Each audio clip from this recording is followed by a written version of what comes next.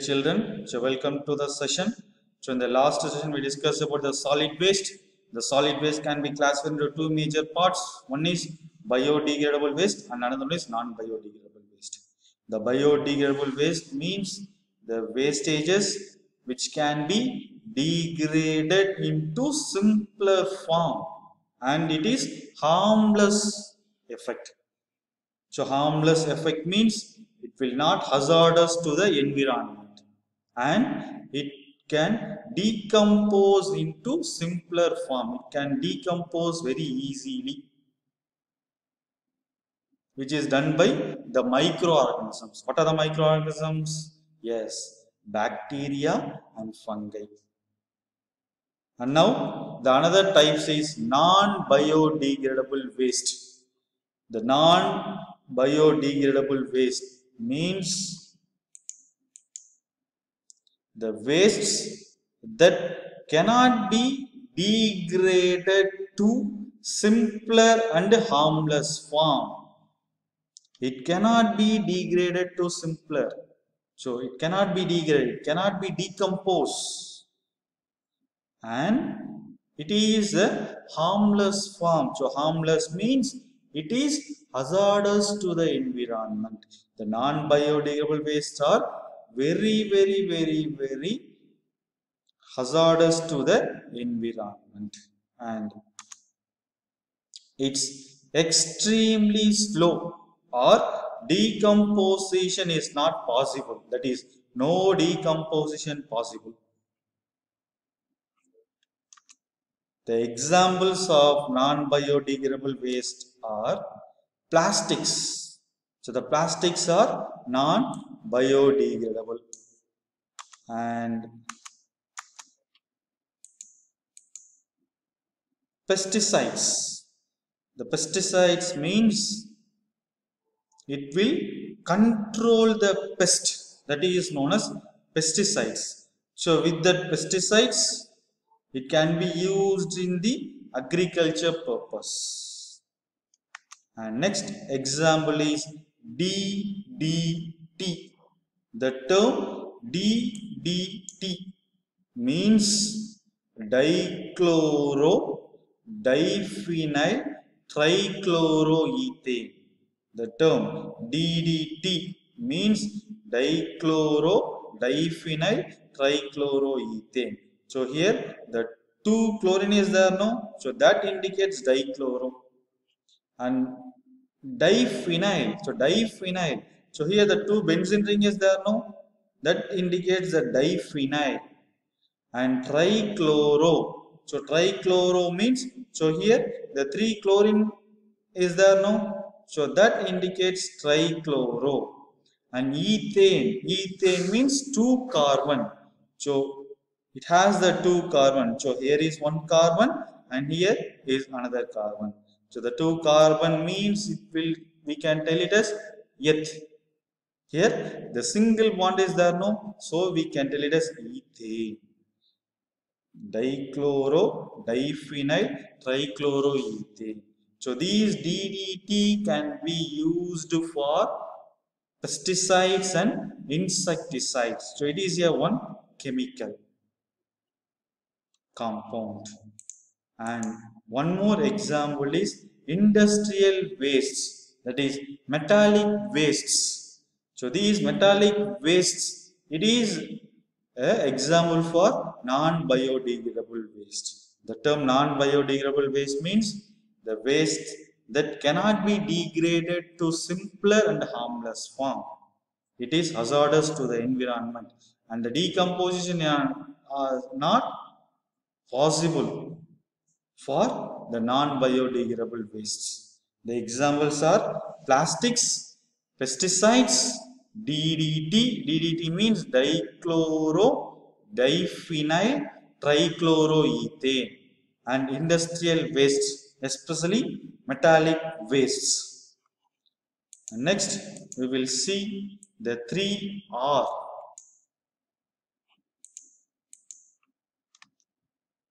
So, in order to save the environment, three R's are extremely useful. So we have to follow the three R's. If we follow the three R's means we can save our environment. So what are the three R's? One is reuse and another one is reduce and another one is recycle. So these are the three R's. First we will see what the term the reduce means. The term reduce means reduce unnecessary usage of plastics. If we reduce the unnecessary use of plastics, we can save the environment. That is the first R, reduce. We have to reduce the usage of plastics. How we can reduce the uh, usage of plastics? So example, instead of plastic cups, for instead of plastic cups, we can use the paper cup and also mud cup. And one more examples are there. So instead of plastic bags, when we use it for purchase some things in the shop. So instead of plastic bags, we can use paper bags. So with this process, we can reduce the usage of plastics. And second R is recycle. How we can recycle? The recycle and use plastics in different forms. We can recycle and use plastics in different forms. And wastage segregation is a must to recycle. So wastage segregation. So we have to separate the biodegradable waste and non-biodegradable waste. The biodegradable waste is used for various forms. It can be used for fertilizers, etc. And non-biodegradable waste, it can be used for further processing. If the plastic water bottles, example you can take. The plastic water bottles, so after using the plastic water bottles, when we put it in the non-biodegradable wastage means that plastic water bottles can be reused. It can be recycled. So with that, we have to segregate the wastage into biodegradable and non-biodegradable wastage. So the examples of the recycle, you just take the plastic bags, the small plastic bags. If we take more small plastic bags, so with that we can convert them into the large plastics so these large plastics that are polythene, it can be used to cover the cars.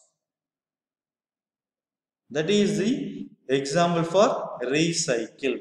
The small plastic polythene can be converted to the large polythene carry bags, large polythene sheets. So these polythene sheets can be used to cover the cars.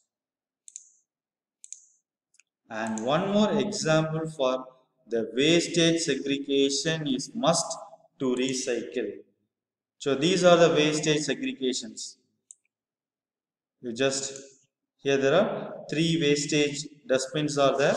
So in that first we can use the recyclable waste. The recyclable waste means it can recycle the wastages. For example, can, bags, and bottles it can be recycled for further purpose and kitchen waste so kitchen waste are peels vegetables leftover food so these wastages can be used for fertilizers.